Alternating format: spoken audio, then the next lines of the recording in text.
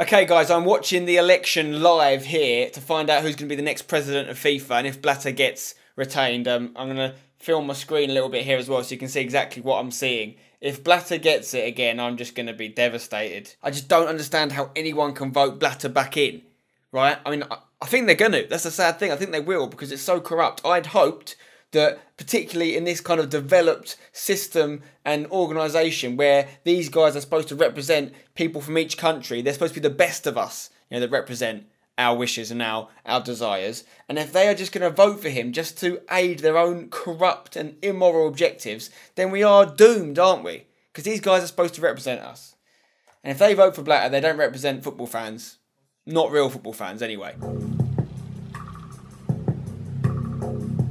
This would be the perfect time for like the FBI just to storm in and just take Blatter out. I mean, please, I don't mean like out. I mean just get him to leave. Just say no, mate. You're not allowed to. Why is this election even taking place? Surely, after the drama of this week, with all the people getting arrested, you know, senior officials within FIFA, they should have postponed this and said, hang on, we need to work out exactly what's happening within our own organisation before we can make an informative decision on who to vote for to lead it. Bloody hell, this is taking ages taking about six hours to do all these votes.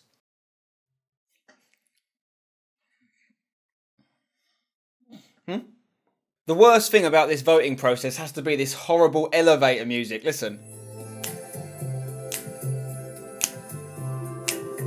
I don't know what's going on now. They've got these big boxes. I'm not sure if they've got to count them or if they've already been counted. There's just loads of blue pieces of paper on the table. Music's got a bit more intense now. I think they've nearly counted all 209 votes. Come on, we want Prince Ali to win. We do not want Blatter back in.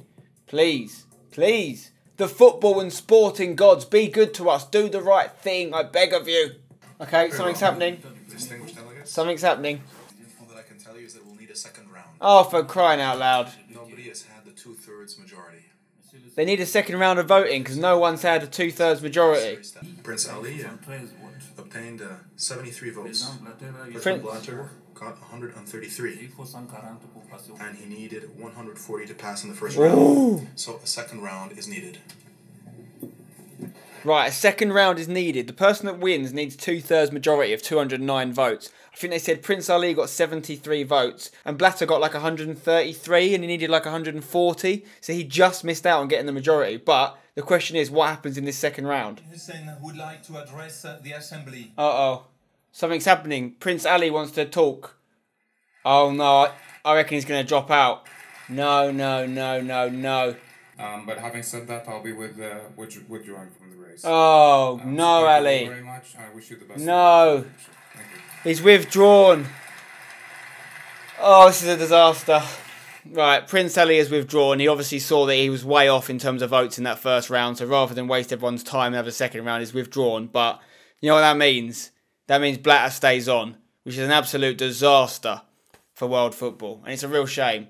And genuinely, I'm gutted. I mean, I sort of saw it coming because all the news has been saying it's going to happen, and you know, he he supposedly has all these votes sort of locked up in Asia and Africa, but.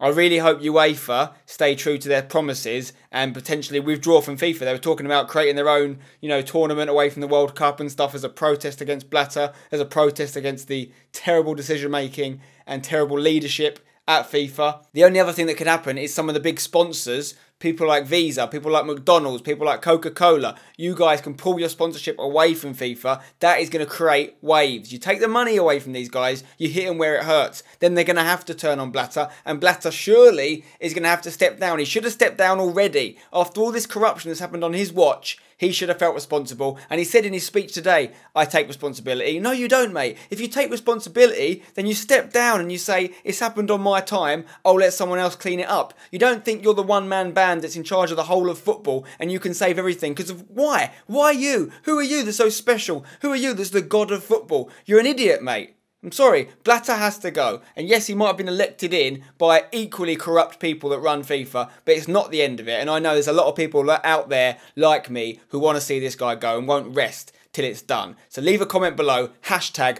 Blatter out if you feel the same as me. Let's start a movement. Let's get this fraud out of our football because he's not helping it. He's making it worse. Every day that he's in charge, Football is getting worse. Let's get rid of him. I'll see you when you're older. Don't go changing. Oh, shut up, you old mug. Blatter's doing his little acceptance speech. You know what? I hope the FBI do their job and finish what they've started. Don't just take down the others. Take this guy down with them. Maybe he's won election. That doesn't mean he has to stay in power for the next four years. Let's get him out before he does any more damage to the beautiful game. obtained Oh, shut up. I don't want to listen to you. Go home. Go to bed.